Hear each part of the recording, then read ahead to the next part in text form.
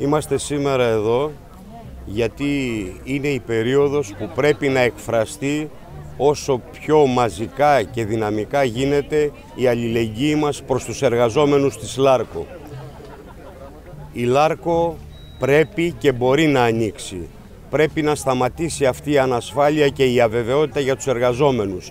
Η ΛΑΡΚΟ μπορεί να λειτουργήσει με όλους τους εργαζόμενους στις θέσεις εργασίας τους, με πλήρη εργασιακά και άλλα δικαιώματα.